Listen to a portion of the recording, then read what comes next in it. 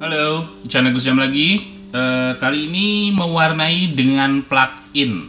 Plugin yang biasa gua pakai dan banyak orang juga yang memakai.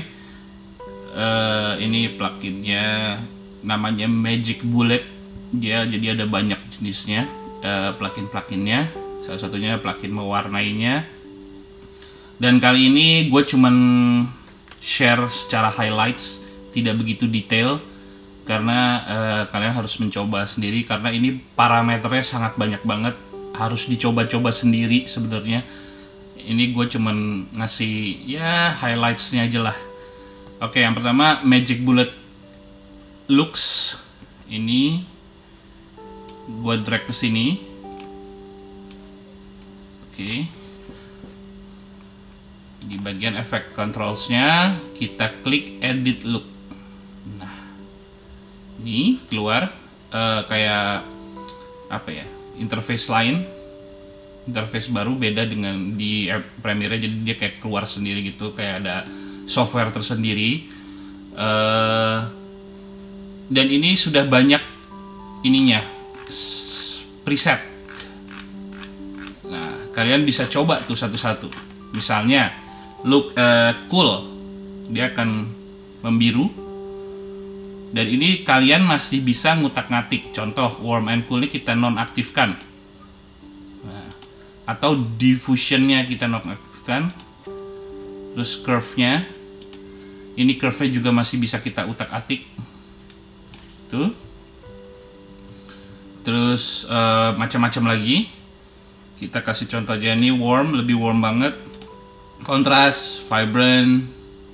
Vibrant oke terus kita kalau terusin lagi ke bawah ada cinematic action indie invasion macam-macam blockbuster Nah, terus ke bawah lagi misalnya apa ya kita coba.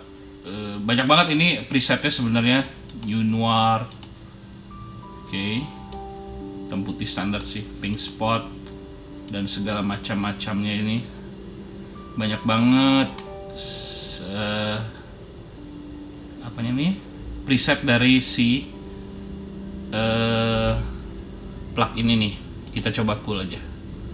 Oke finish. Nah otomatis langsung berubah. Nah, saja udah berubah warnanya. Oke. Itu em, magic bullet looks. Kita delete aja sekarang Oke, kembali ke normal. Ada lagi yang biasa gue pakai Magic Bullet Mojo, Mojo, Moho, Mojo, Mojo sih mestinya. Kita drag sini. Nah, ini agak-agak mirip sama Blockbuster tadi dan kalian masih bisa ngutak-ngatik lagi. Misalnya Mojonya kalian cuma mau 10. Nah, orange-nya masih eh, warna kuning-kuningnya masih banyak kelihatan. Jadi kebanyak-banyak Eh, ini tinnya juga bisa diatur lagi. Misalnya kalau 100 kita lihat aja kejadiannya kayak apa atau 10. Nah, ada perubahan-perubahannya. Warm it. Kalau dinaikin dia lebih warm lagi. Oke. Kalau kita turunin jadi bluish banget. Nah, jadi ini semacam lebih memudahkan eh, preset ada preset presetnya. Dan eh, sorry sebentar. Eh, oke ini jadinya eh, lebih memudahkan kalian lah yang pastinya eh, dengan preset preset eh, dengan plugin ini eh, plugin berikut preset presetnya. Oke ini kita delete dulu. Ada lagi namanya Colorista Colorista 2 gue pakai sorry. Colorista 2 Eh, Oke, anyway, eh, ini selain dipakai bisa di Premiere, juga bisa digunakan di After Effects tentunya, karena orang biasanya mewarnai itu udah masuk ke editing online, itu biasanya dilakukan di After Effects. Eh, tergantung kebiasaannya aja. Kalau gua eh, kalau untuk kerjaan-kerjaan yang yang serius eh, yang membutuhkan kedetailan, gua menggunakan After Effects.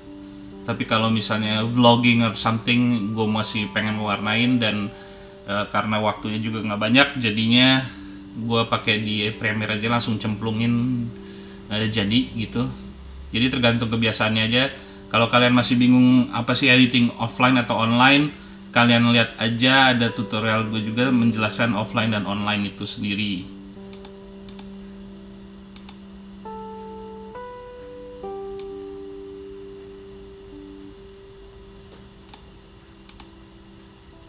Ya sorry. Uh, tadi agak bingung karena tampilannya biasanya otomatis langsung otomatis langsung keluar begini. Uh, ini macam-macam jadinya ada primary secondary uh, ini ada primary three way bagian secondary-nya segala macam. Misalnya kalau misalnya uh, kalian mau agak kebiruan tuh ini ini ini mewarnai dengan detail banget sih. Highlightsnya tuh segala macam. Dan kita masih bisa atur ininya tuh terang gelapnya. Gue menyentuh bagian yang di sininya nih gue gerak-gerakin. Intinya tuh lebih lebih detail lebih ribet tapi kalau yang di colorista ini. Oke sepertinya uh, share gue ini cukup sampai di sini aja karena gue hanya ingin share highlightsnya aja. Kalian harus coba masing-masing lagi harus karena ini detail banget harus dicoba sendiri-sendiri lagi. Uh, gue bahkan hmm, beberapa video klip yang gue bikin itu menggunakan mewarnainya menggunakan plugin ini dan belajar sendiri ngutak-ngatik sendiri so tau sendiri. Oke okay, thank you semua yang udah nonton. Kalau suka di like silahkan di share ke teman-temannya. Uh, selamat mencoba dan selamat berkarya